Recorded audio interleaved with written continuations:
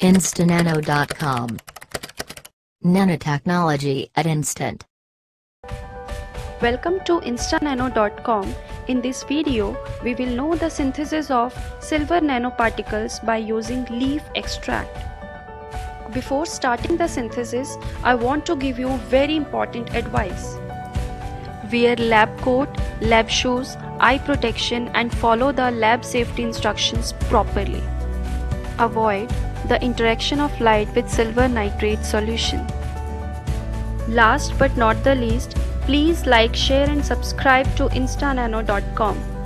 So here is the apparatus checklist. We need a beaker, conical flask, magnetic stirrer, magnetic bead and burette. Chemical checklist includes silver nitrate, deionized water and leaves of desired plant. Firstly, collect the fresh leaves of desired plant like ficus panda, bottle brush or neem tree, etc. Wash the leaves properly with deionized water. Now cut the leaves into small fine pieces. Set up the beaker on the magnetic stirrer. Take 25 gram of freshly cut leaves in 100 ml of deionized water and set the temperature to 80 degrees Celsius. After some time, the water will turn greenish, indicates the formation of leaf extract in water.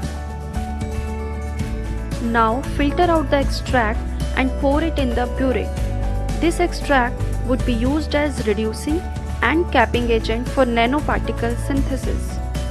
In the next step, take 10 mg of silver nitrate in 50 ml of deionized water. Also, don't forget to cover the conical flask with aluminium foil to avoid the photo degradation of silver. Set the temperature to 60 to 70 degrees Celsius. Now add the leaf extract dropwise very slowly until the light yellow color forms. Stop further adding of leaf extract after color change to yellow. Finally, congratulations! This light yellow color indicates the formation of silver nanoparticles in water. Please like, Please like. Please like. please like, Please like. Like. please like, Please like. like, share and subscribe to instanano.com. For more information, please log on to instanano.com.